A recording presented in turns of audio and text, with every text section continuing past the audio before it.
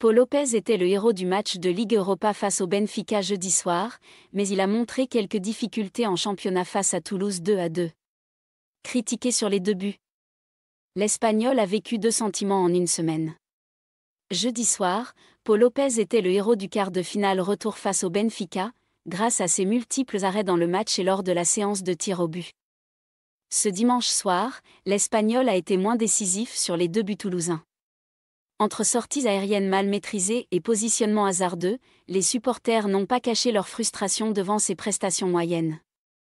S'il est capable d'être très bon, cela n'arrive que trop rarement. Le chanteur Matt Pokora, supporter de l'OM, en a assez du portier espagnol. Paul Lopez ce soir La sortie sur le premier but.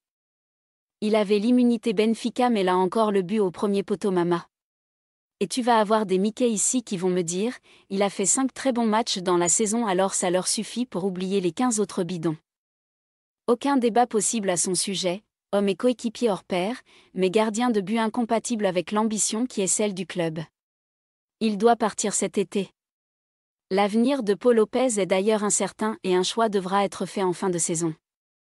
Le club s'intéresserait à Guillaume Reste pour succéder à l'Espagnol.